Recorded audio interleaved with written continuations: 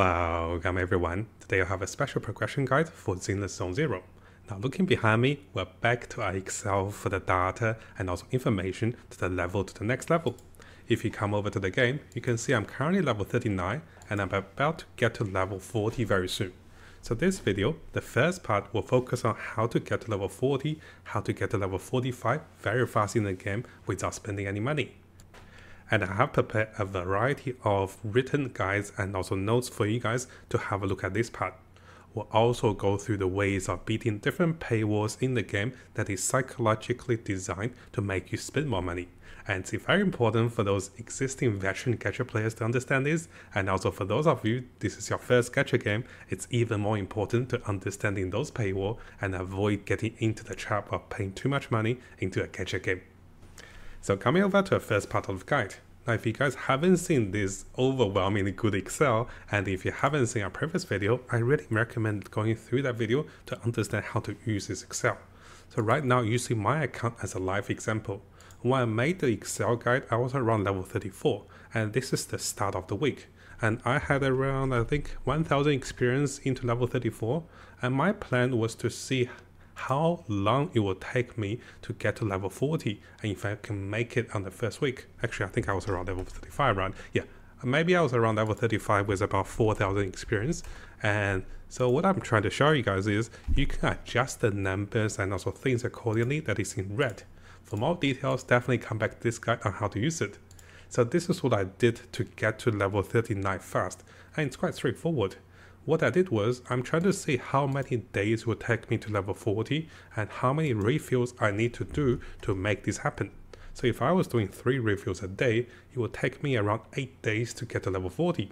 But if I did 5 refills a day, all of a sudden it takes me less than 7 days to take me to level 40. And this is not including all the other experience I'll get in the game as I progress to level 36, level 37, and 38 for additional experience coming from the quest. So the Excel guide was helping me to determine how to reach a target goal by filling up how many resources with recharge of energy. Now, of course, it will cost more resource and also more polychromes to recharge this way, but this gave me a direct method to get to higher level fast to set my weekly target goal. And if I'm not in a rush, I can do zero refills a day, and I get to see how long it will take me if I don't do any refills at level 35. And over here you see, after doing that for a few days, and this is pretty much more than half of the week, I'm already level 39. And now I can slow down. So I show you guys what I'm doing now. I'm putting my current experience into the formula, and I can see it will take me 2.8 days if I don't refill. If I refill once, it will take me this long. If I refill three times, it will take me around two days to get to level 40. And those are my targets and also method of how to determine how to get to level 40 with the refills. Now in order for you guys to use this Excel, come over to the links below of the video, click onto files and make a copy. If you do not make a copy of this file, you cannot change the numbers here. And the Excel was built so you guys can change numbers. Now, of course, there's also tons of other methods to get additional experience. And I recommend coming back to this video and going through the timestamps over here to all those methods. Those are really good and I have discovered one of the best free-to-play methods shared to me by a lot of friends, especially Chinese players who got to level 40 super fast. And one of the secrets is actually coming over to the Hollows. You can see there's a lot of experience to be earned in the Hollows. I'm briefly reading all the Hollow leveling and if you level every 5 levels, you get 600 experience. Overall, you get over 12,000 experience by playing the Hollow by leveling up your license and this doesn't require any energy. So a lot of players who actually power leveled was getting more experience than what we're getting just by leveling over here. And this is by playing Hollows without experience. And I guess I want to share this one with you guys in case you want to push for higher levels even faster. Now briefly summarizing all the ways to get additional bonus experience in the game. And now because we talk about this, we'll skim through this one quickly. As you clear the story content guys, you'll be getting additional experience on the first clear of the story content together with, uh, with side quests and also looting chests will give you additional experience. Character stories will unlock up to 6 different character stories.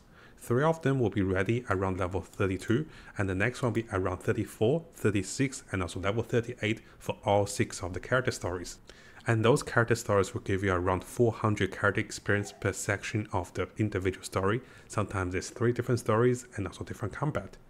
You can be recharging energies to refuel, and this will cost additional polychromes or this will cost other battery. We get three other batteries on the battle pass around level 5, then two more on level 15 and also on 25. And this will give you additional energy to spend and this will give you additional experience. We also get additional experience coming from the trial events or the premier events in the trials. So 100 per completion of those, and there's about 4,500 to get. And finally, what I just mentioned about the bonus experience coming from the Hollows, this is a big factor, over 12,000 bonus experience. If you're out of energy and if you're playing the hunt, you also get bonus experience by playing the hunt three times a week. And those can be really good without spending any energy. Now finally, there's also hidden quests and also chain events that is available in the game as you go through various clues in the game. And because we mentioned about this previously, let's briefly talk about this as well. So if you speak to the random spawning Bangboos, you get additional experience and also polychromes. And there's a number of methods to trigger those. And as you speak to NPCs, and also as you change in the time of the day, you'll start to find different hidden quests on those four different locations. And this will help you greatly to get some boost of experience. And as you can see here, I also have listed out a number of different hidden quests and also method to get more experience.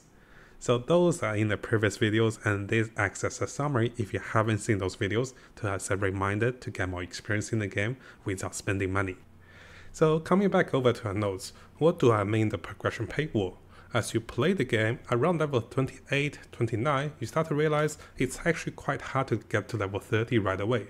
And then around 32, 33, and level 32, those levels, you start to realize it's hard to get to level 36 and then around level 36 to 39, you realize it's quite hard to get to level 40.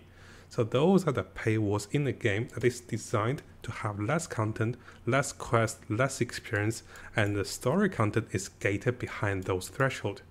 And by designing the game this way, the developers are trying to get the players to do more refills and also spend more money in the game. So why I made this particular guide, I wasn't purposely making you guys to do more refills but rather to help you to determine a set goal so you don't over refill.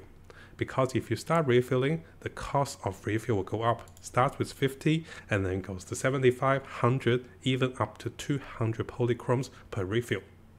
Now I'd like to recommend some of my previous videos on the topic of how to get to level faster with all the methods I was mentioning in this video and we do have a few previous video on rolling for characters, how to get additional experience from hidden quests and also chain quests, and this will help you as you stuck with the progression wall.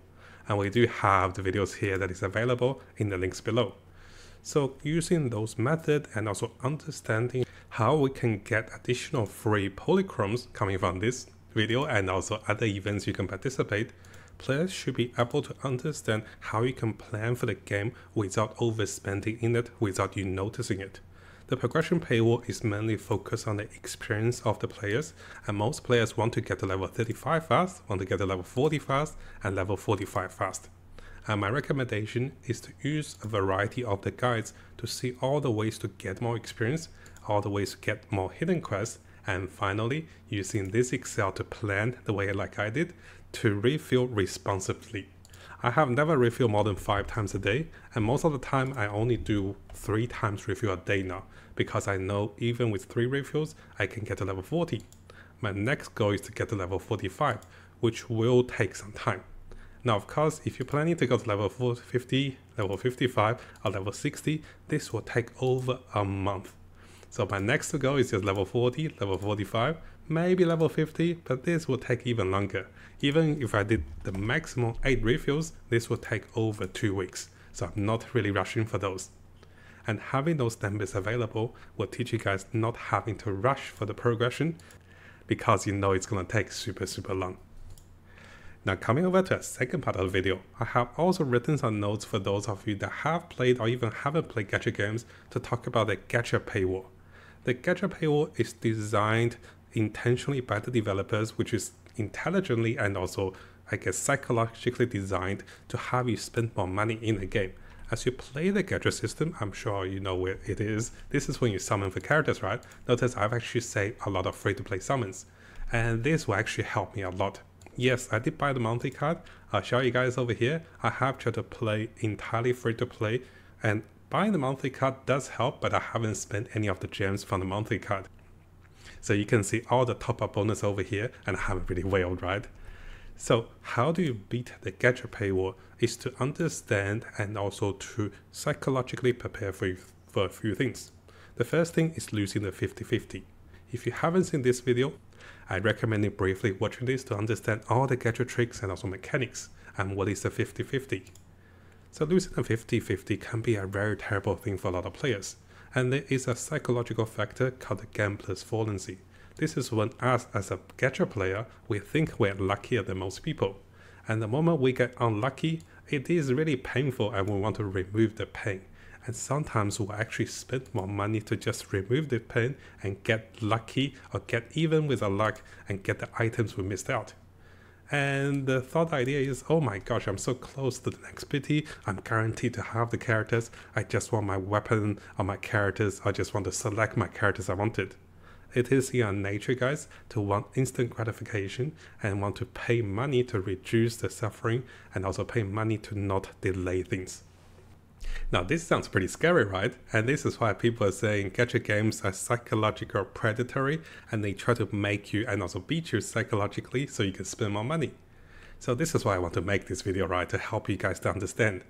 So once we understand, we can start to beat the variety of paywalls in the game how do you want to pay, or uh, how do you want to beat the paywall in terms of summoning and also the gacha mechanics is to plan ahead of time. Plan for multiple results that will help you to determine what's going to happen when something good happens. Well, when something good happens, you just enjoy the game, right? But when something not so good happens, like losing a 50-50 or even losing a 50-50 to a dupe, that is terrible, right? If you plan and also prepare yourself mentally ahead of the time, this will help you greatly to not overspend money. Now it is also important again to remind you guys to understand the rates and also gacha mechanics.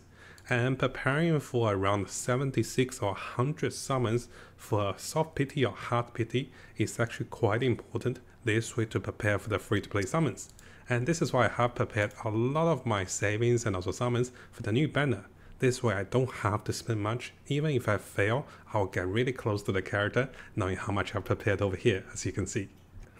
So the final summary to beat the paywall with gacha games is that knowledge is power.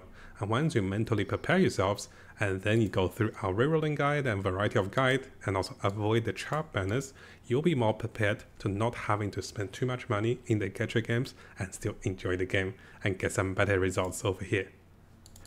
Now, on the topic of variety of paywalls, there's also the Pokemon effect. I'm not sure if you guys have heard of it. So this is when you want to collect all the Pokemon, so all the characters in the game, and you just feel like you're missing out on one or two of them. And all of a sudden, just by paying a little more will help you get there.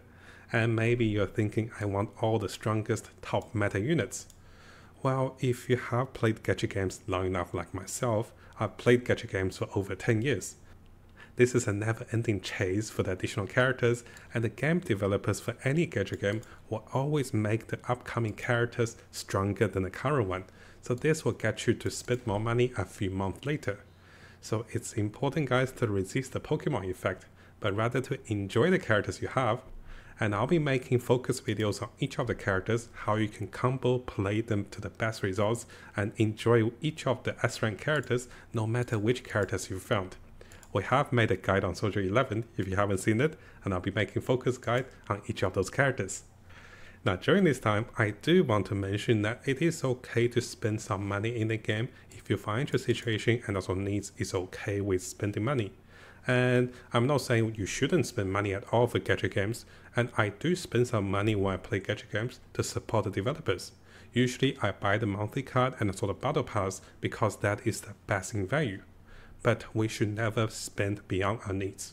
To give you guys a personal example, when I first started to play gacha games, I played a game called Summoner's War. It is one of the fun and also well-designed games at the time, and the game is still ongoing. They still make a lot of money. When I played the game, in the first half month of playing, I spent four digits into the game. I spent half of my month's salary and I was feeling terrible after spending over four digits. I have never spent that much in my life, and it was something that I really want to share with you guys. This is what made me want to play games or gacha games more free to play. And this is why I keep making videos and guides like those to help you guys avoid getting baited, getting traps, and getting to the point you start to feel so guilty about playing games like those because there's no limits how much you can spend in a gacha game. And what I also want to remind you guys is after spending so much money into my previous gacha games, I realized there's there's no amount of spending that can bring me joy. And once by overspending a game, getting a new character, a new weapon no longer makes me feel lucky or feel better. And once we're overspending a game, we tend to become less enjoyable or having a good time when we play a game that is supposed to be free to play, or I guess low spending. So here are some of my thoughts and also personal experience which I want to share with you guys to help you beat the paywalls and also different effects with gacha games to spend less money in those games. Now I know it is a little sidetracked because the intention of making this video is to help you guys to get to level 40 and also level 45. But it is really important for me guys, in no matter which gacha game I play, I share those important lessons in life and also in gacha games to help you guys understand and also have a better time play any gacha game that's out there, avoiding those paywalls and also spending too much in it. Now similar to all of the videos, if you want to follow the notes, those will be available in the links below. And if you find my videos helpful and you want to see more future videos for ZZZ and also other games to come, make sure you subscribe to the channel and keep the notification on for the latest content.